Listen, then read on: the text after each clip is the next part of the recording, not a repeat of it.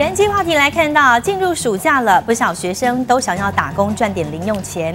而在 AI 浪潮之下，相关的打工职缺也成为热门的选项。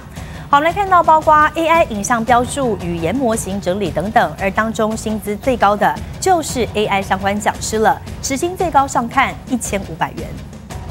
我们会去把这个 AI 的问答句型做格式的生成。对着学生侃侃而谈，不管是写作、职涯、创业分享，通通难不倒。在人工智慧浪潮的兴起下，AI 课程讲师特别有感。每个月至少会接到两三次的不同的邀约。那实际去上课的话，他们一次都会想要包班，比如说一个月包三四次的课程。依照不同经验，AI 讲师每一次分享收入大约在八千元到一万元都有。而根据人力银行调查，现在这股热潮也吹进暑假打工市场。在求职网站上已有超过两千个 AI 关键字相关的打工职缺，像是 AI 讲师时薪最高一千五百元，另外工程师、系统维护、操作人员等时薪上看八百元。如果能具备双语沟通能力，进行 AI 相关翻译工作，每小时也有四百元起跳。之前在就业博览会有看到一些就是。公司他们开始在招聘这些相关职缺，他们开出来的其实，呃，薪资落差还蛮大的。还是会想往就自己的专业走，AI 它已经有点像是一个